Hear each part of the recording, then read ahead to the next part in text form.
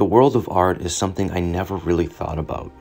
I have been learning that you do not need to be an artist to have your life enriched, or in some cases, totally transformed by the world of art.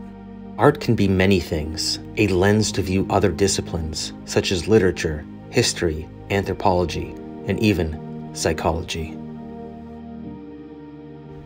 Art is a mirror of truth, reflecting our own culture back to us, a direct transmission, a language of spirit. Art is always contemporary. 35,000 year old paintings may have had a different meaning to the people who created them. Did our ancestors, the people who first reached for something more, have transcendence in mind? In the 21st century, looking back, what do we see in the art of our ancestors? Today, let's look at two pieces of art from two different time periods. First will be Caravaggio's Conversion of St. Paul. The second piece of art will be The Scream by Edvard Munch. The Conversion of St. Paul was painted in 1601 by the Italian artist known as Caravaggio. The conversion of St. Paul is oil on canvas and is 7 feet 6 inches by 5 feet 8 inches. This painting was done post Renaissance, a time and style known as Baroque. Here's an example of a Renaissance painting. This is Madonna of the Goldfinch, painted by Raphael in 1506. This is a great example of a Renaissance painting. Notice the bright colors and the expansive landscape in the background. Now compare Raphael's Renaissance painting to Caravaggio's Baroque painting. There is no landscape, instead the whole painting is taken up by the characters. There is an expression of naturalism in action. You can see the dirt on the horse's hooves. A single source of light is allowing us to see the events unfold, as though the light is telling us a story, the light as a narrator. The Baroque style of painting literally turned the Renaissance upside down. Take, for example, of how Caravaggio flips the composition in the conversion of St. Paul. This action scene is a biblical story about a Roman citizen named Saul Saul caused havoc for the new followers of Jesus by hunting them down for imprisonment. Saul was on the road to Damascus, terrorizing Christians, when God appeared to him. Like the clap of thunder, Saul heard God say, Saul, Saul, why do you persecute me? The voice in the bright light of this Christian God so stunned Saul that he fell hopelessly from his horse. This strong man, this persecutor of Christians, lay hopeless. His helmet and sword, tools and possessions that he always relied on, are now useless. This encounter with the King of Kings blinded Saul for three days. This theme of being blinded or in darkness for three days is a common theme in biblical stories.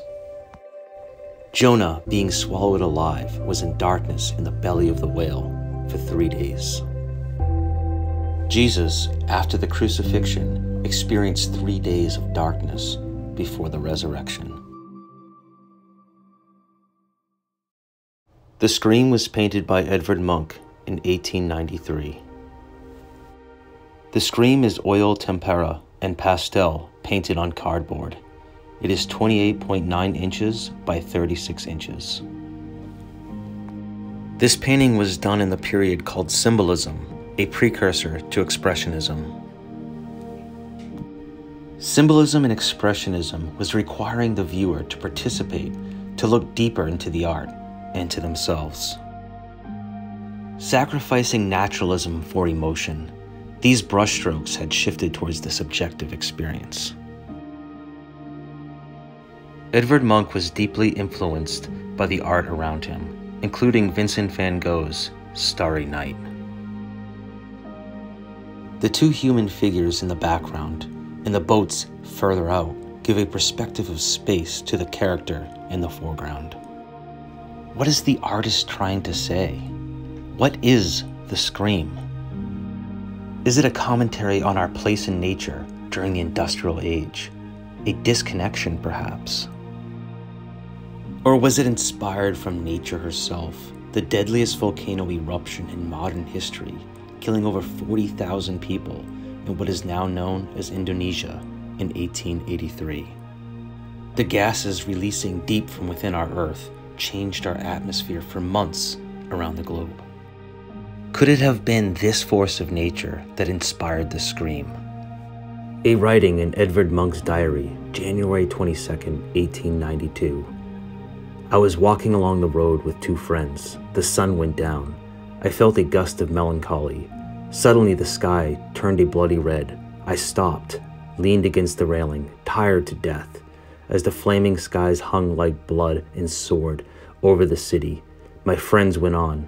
I stood there trembling with anxiety, and I felt a vast, infinite scream through nature. Perhaps the scream was no more than a looking glass into the heart of Edvard Munch.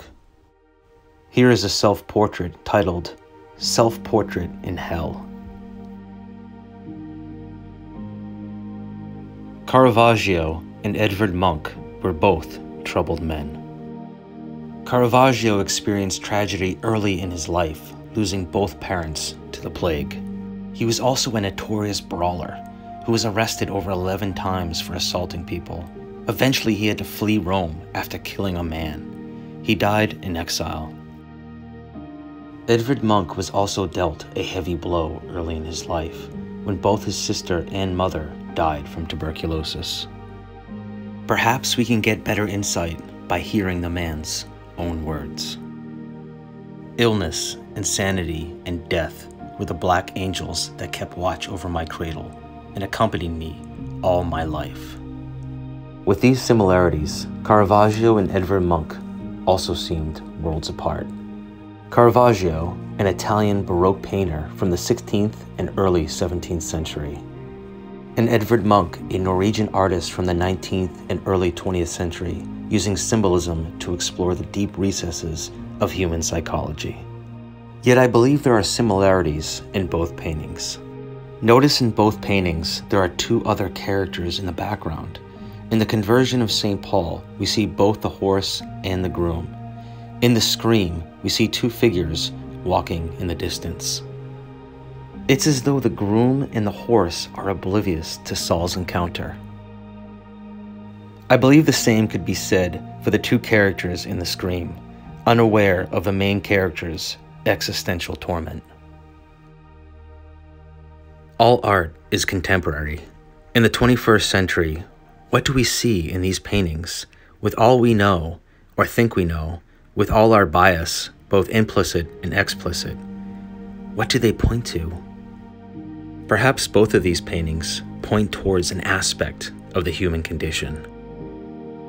At some point in our lives, no matter how well it's going, we will be flung from our horse. The people in our lives may not understand or even notice. Some of the ones closest to us will choose to look away, or worse, walk away. We may suffer in darkness for three days, like Saul or Jonah in the belly of the whale or have an eternal scream that matches all the horrors of nature. There is a part of the biblical story of the conversion of St. Paul I have not shared yet. After Saul was blinded by God, he recovered his sight after three days. He was now gifted with new vision, a transformation. With Saul's new insights, history would remember him as St. Paul. These paintings remind me of what mythologist Joseph Campbell once said.